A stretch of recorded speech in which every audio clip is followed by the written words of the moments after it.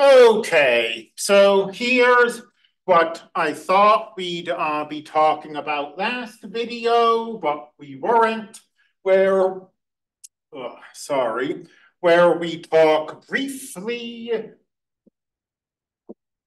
about going from polar equations to rectangular equations.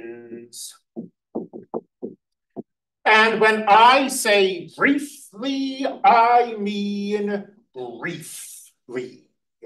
Because the truth of the matter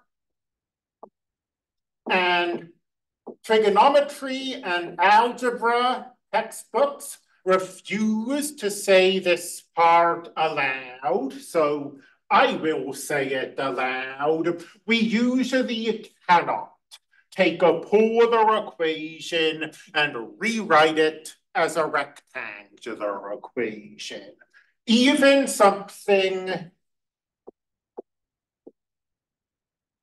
like this, which seems to be about as ridiculously simple as an equation can get, there is no way for us to take this and rewrite it as a rectangular equation. So because we usually can't, how much time do we want to spend looking at the fringe cases that textbooks think up so that they can have sections like this? Well, I don't know how long the this video is going to run, but we will spend however long it takes to do a single example where stuff does work out nicely. If you're following along in the textbook, this is example nine. R equals two times the secant of theta.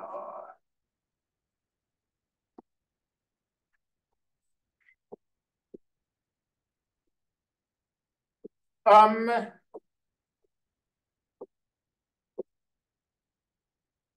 this is R equals two divided by the cosine of theta we can multiply both sides by the cosine of theta and then we say, wait a minute, r times the cosine of theta, I recognize that.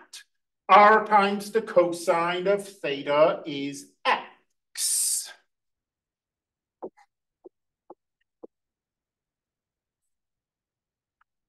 And so we have taken an equation in polar coordinates and rewritten it as an equation in rectangular coordinates. But again, I should emphasize that this is an example that was grown in a laboratory to work nicely.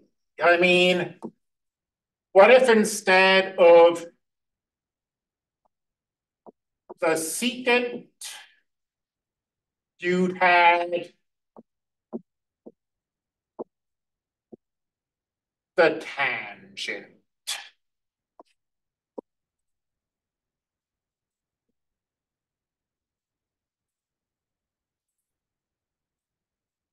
The same trick we used on the left-hand example would work for a while.